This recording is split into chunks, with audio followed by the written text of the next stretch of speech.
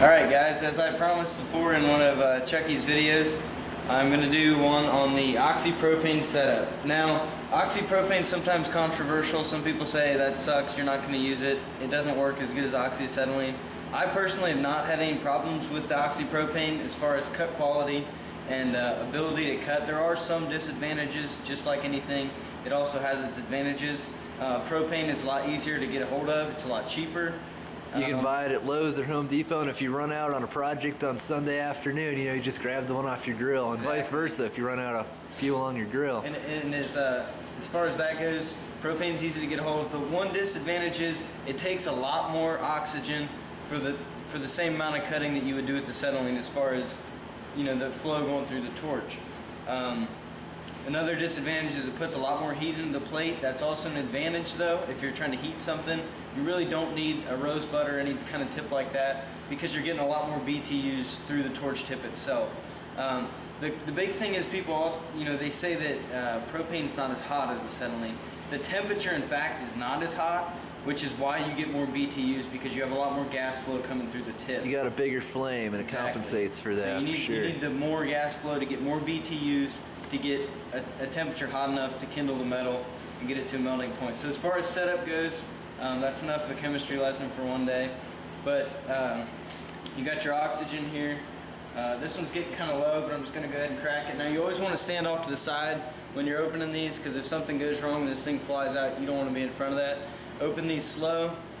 You want to open these valves all the way up. As you can see, my tank's getting kind of low. yeah. It's gonna need a little frit, uh, refill. Side note here, like an oxygen tank or a C25 tank or something, it can seal so it'll be leak free in two positions, all the way closed and all the way open. So if you only open it like halfway, you can lose some of your gas out from around up here. Exactly. And it's actually different with the acetylene. You only want to open that about a turn. But uh, anyways, we're gonna turn this up to about 35 psi as per the tip. So there's 35 on our oxygen. That's set up and good to go. Now we're gonna come down here to my wee little propane bottle, which I know this looks completely goofy, but whenever we started out, uh, this propane bottle was full and that oxygen was full. They burn at about the same rates. So we're gonna open this just a little bit.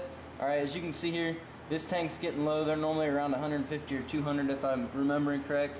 And we're gonna dial this one into about 10 PSI. Not PSI, whatever you call that. Actually, it would be I think it is PSI. Well, anyway. Anyways, Edit. uh, All right. Alright guys. Now another difference too if you're going to run propane is the grade of hose. Uh, this is a grade R hose. It holds up to the liquefied petroleum. Um, an acetylene hose, which is grade T, I think, will break down uh, over time supposedly. Uh, another difference is the regulator. You're going to need a different regulator because again the seals in them are built a little bit different as well as the unlimited pressure adjustability. It's not capped off at 15 psi like an acetylene. On to the next difference here. Torch body, everything's the same. However, the tip's going to be different. And for those people that have used acetylene, they'll like this a lot better. As you can see here, it's a two-part tip. So we've got the inner part here where the gas comes around and then this outer part. Now, why is that better than acetylene, you say? Well, for the simple reason when this gets dirty, I take it out, I wipe it off. I may have to use a tip cleaner on that one little port right there, but that's it. It's good to go. Mm-hmm. And I put that back in. That beats having like seven or you know nine holes Right. to have to clean out there. Now, if you don't mind here, where exactly do you find a beautiful set of Smith equipment like this? I understand that Smith is pretty much the top of the line in you know gas cutting equipment. Well, it's controversial, but that's what a lot of people tend to Yeah, prefer. I, I prefer Smith. Just I like to set up the torch. I like the feel of the torch. That's what I started cutting with, and that's probably what I'll stick with. Um, At work they use Harris, and I'm not a fan of this at all. Granted, they're like 100 years old. But uh, I actually ordered this set online from uh, Baker's Gas. Baker's gas. All right. I think it was probably around $225, which isn't bad. You still have to rent the bottles and everything like that. But a setup, you know, it came with the torch, tip, regulators, hose, everything you need, already for propane. this is some beautiful shiny chrome equipment here too. But all right, All right, guys. Now, onward. On to the next thing. I, I think a lot of people, whenever they say they don't like propane, is because they're not using it right. Um, you'll notice I'll set up the tip to how someone would probably set it if they're used to running acetylene, and then how it's supposed to actually be set. And then we'll go ahead and make a cut with it so you can just see the quality of the cut is you know comparable to acetylene or other things like that. All right, so we're gonna go and open our oxygen all the way up here. All right, so with that on full blast, I'm gonna go ahead and get my gloves on. Yeah, that's good. Those are important. My holy gloves. yeah. All right, so I'm gonna come over here. Now this is gonna be a lot different. You don't get that sooty crap like with acetylene. I'm gonna turn it up a little bit. Now you see as the flame's coming out the end here, I'm gonna have to add, turn that down so it's not jumping all the way out the end. All right. Then I'm gonna add a little bit of oxygen. You're gonna hear that kind of whirl sound. That's something you want to hear. Now, back to what I was saying, if someone was used to running acetylene, they're probably gonna set this torch up something like that. And that's really not gonna do you a whole lot of good. Another thing is there's not enough gas flow to keep that flame out of the tip, and real quick that tip's gonna get really hot. So we need to turn it up, add oxygen, once, and then normally twice, add a little more fuel. You're gonna hear that whirl. Now when we set this on the table, you're gonna see these kind of sharp, like a star pattern. That's about what you want right there. All right.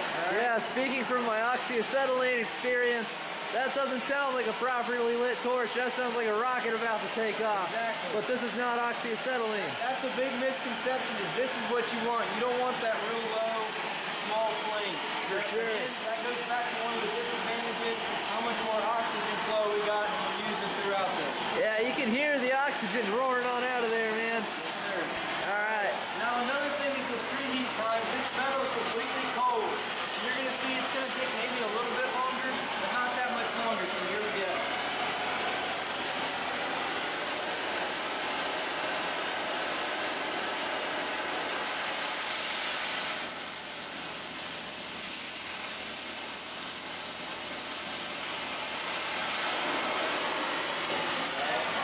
So as you guys can see, you know, if you don't have that much extra time to spend waiting for something to preheat, you're probably in a little bit too big of a hurry and you should just get a plasma machine because that really did not take any time. No, that Again, didn't. That's about 3 eighths plate. It was completely cold when we started. That's and as you can see, those cuts, you know, they come out pretty daggone tasty, but I mean, I'm rather skillful at cutting if I do say so myself. Yeah. Just kidding. Man, but, that I mean, minimal slag on the backside, knocks right off. All right. Now, Mm-hmm. if I was gonna weld this, I'd probably take a wire wheel and just get all this kind of stuff of off here. Yeah. But if we uh, go ahead and pick this cut apart a little bit, maybe along this uh, top edge here, it could have could have been possibly a little hot, but uh, I'm pretty happy with the way that cut turned out. That's beautiful, man. Just one of the main quality things with cuts is these lines. They're nice and straight, so you can tell it wasn't you know traveling too fast. Bottom side there wasn't much slag, and what slag there was chipped off easy. Top side maybe a little bit hot just because this this corner's not real real sharp, but for the most part I would be happy with a cut like that, and that's gonna work and get the job done. So. Definitely, man. If uh, you guys have any more questions or want me to do anything else with the torch, just uh, leave a comment. But other than that, thanks for watching, guys.